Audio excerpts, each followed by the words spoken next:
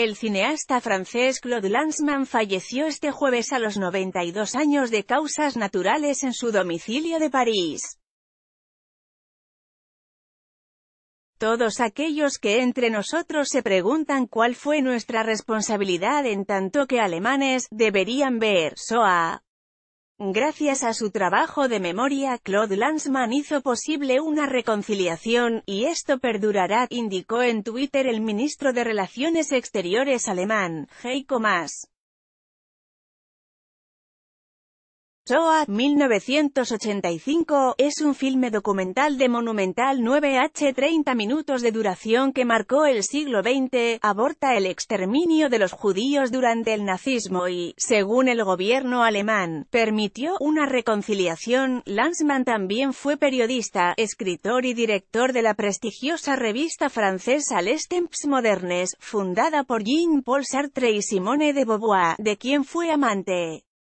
Claude Lanzmann fallece a los 92 años en la ciudad de París. Video, YouTube, vía France 24 English. La muerte no es una evidencia. Yo no defiendo para nada la muerte.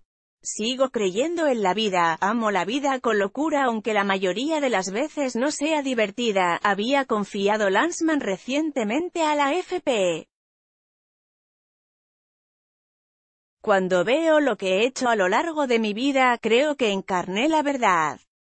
Nunca jugué con esto, afirmó Lanzmann.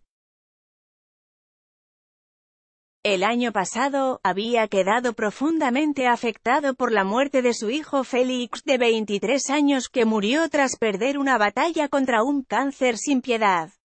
Campo de concentración nazi.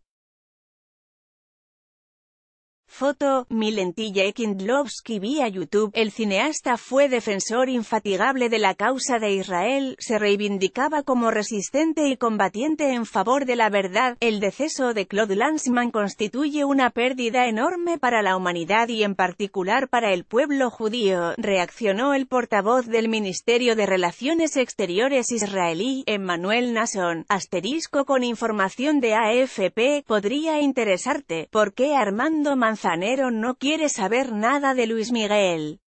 Lanzan tráiler de serie de televisión, de Purge. ¿Qué podemos esperar del estreno de Ant-Man and the Wasp? Gerardo VM.